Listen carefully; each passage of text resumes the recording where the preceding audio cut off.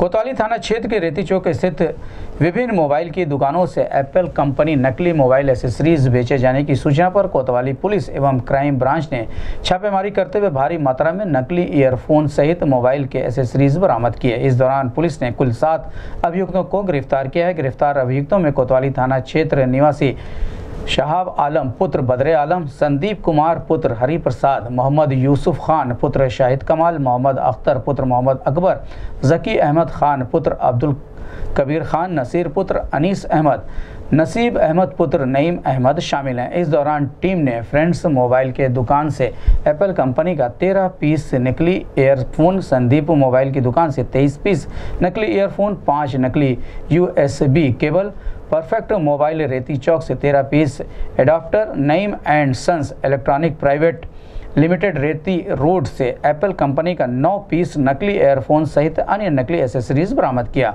Police line सभागार में घटना का खुलासा करते हुए SP crime Ashok Kumar Verma CO crime Praveen Kumar Singh व सीओ कोतवाली बी पी सिंह ने बताया।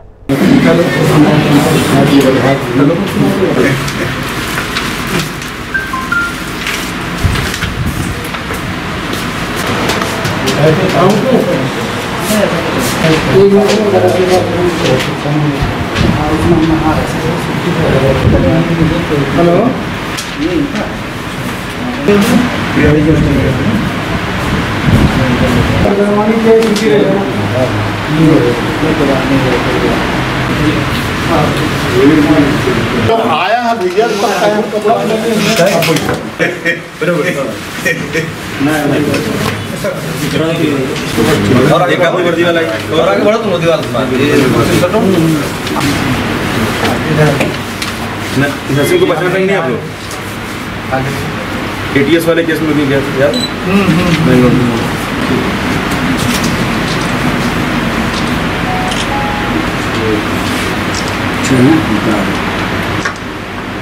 बहुत ज़्यादा उससे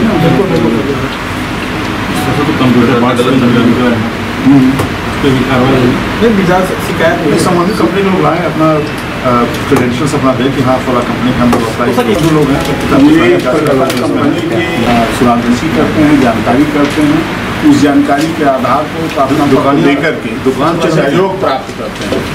पुलिस का सहयोग और पुलिस से मिलजुल करके कॉपीराइट एक्ट के मुकदमे पंजीकृत किए गए जब हम लोग पास आते हैं तो दुकान चिन्हित रहता है फिर हम लोग वहाँ जाकर से बरामदगी और गिरफ्तारी करने लगते हैं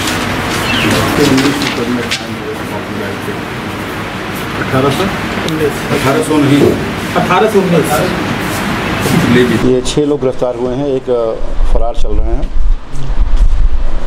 शहर में, कोतवाली क्षेत्र में, मियाँ बाज़ार स्थित रेती रोड पर। वहाँ काफ़ी दुकानों में सूचना मिली कि फर्जी फर्जी क्या, नकली एयरफोन, नकली यूएसबी अडेप्टर वहाँ पर ये बिक्री कर रहे हैं। एसएसपी महोदय को सूचना प्राप्त हुई सर के निर्देशानुसार। क्राइम ब्रांच क्राइम ब्रांच की टीम और ये थाना की टीम इसमें लगी। और कुल सौ ईयरफोन की बरामदगी हुई है सातों दुकान से सौ ईयरफोन की बरामदगी हुई। चौवालीस अडेप्टर की बरामदगी हुई नकली अडेप्टर और पाँच यूएसबी का ये बरामदगी हुई है। मामला यही है। सर किस कंपनी के थे? तथाकथित एप्पल कंपनी की बताई जाती हैं। संबंधित कंपनी के लोग हैं? संबंधित कंपनी के लोग हैं अ, अ, मल बंधु हैं पिता पुत्र हैं वो जो उसका काम देखते हैं उन्हीं शिकायत पर सबसे साथ पास गए भी थे। अभी परसों भी कुछ बरामदगी हुई थी। नहीं जैसे सूचना प्राप्त होती जहाँ की प्राप्त हो रही है वहाँ पे हाँ। हम लोग कार्रवाई करा रहे हैं। अब चूँकि इस चीज़ को भी हमको देखना है कि ये कहाँ पे चीज़ें मतलब ओरिजिनल है महत्वपूर्ण- सही है कि नहीं? तो ये ज़्यादा अच्छा होता है कि जो कंपनियाँ कंसर्न हैं, वो जब इसकी शिकायत करती हैं तो वो इसकी मतलब स्पेशलिस्ट हैं। तो जब वो शिकायत करती हैं, ठीक लीगल वे से फॉर्मल वे से, तब उसके बाद मतलब स्थानीय थाना और अन्य जो भी एजेंसीज हैं, वो एक्टिव होती हैं, फिर कार्रवाई करती हैं। अभी ठीक कोतवाली क्षेत्र में लगातार इस प्रकार क्या की कार्रवाई स्थानीय पुलिस और यहाँ की साइबर सेल मिलकर कार्रवाई कर रही है। सात मुकदमे कुल लिखे गए हैं, जिसमें ठीक कॉपीराइट एक्ट लिखा गया है और और इसके अलावा ठीक कंपनी ट्रेडमार्क एक्ट और चार सौ उन्नीस बीस की भी मतलब बढ़ोतरी की गई है जिसमें इनका रिमांड लिया जाएगा। यूँ तो कीमत देखा जाए तो बहुत ज़्यादा नहीं ट्रेडमार्क से तात्पर्य ये है कि उस एप्पल ओरिजिनल कंपनी का जो है ट्रेडमार्क लगा हुआ माल यह कहकर कि ये एप्पल कंपनी का है और बिक्री किया जाता है। तो इस तरह से ग्राहकों को धोखे में रख करके उनके साथ विश्वासघात करके ये अवैध धंधा जारी है। कंपनी को भी नुकसान हो रहा है।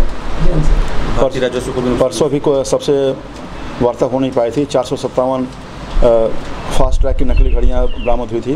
तो हाँ। तो इसी तरह से बराबर सूचनाएँ मिल रही हैं तो कार्रवाई हो भी रही है। और जो पुष्ट सूचना नसीम के बारे में मेन है कि नसीम इसके पहले भी जेल जा चुका है जो केस एटीएस ने लिखा था। आप लोगों के संज्ञान में होगा मनी लॉन्ड्रिंग का ये कुछ मतलब कुछ कनेक्शन था फॉरेन करेंसीज को लेके। तो उसमें अभी बेल आउट है और इसकी भी गिरफ्तारी इसी केस में की गई है।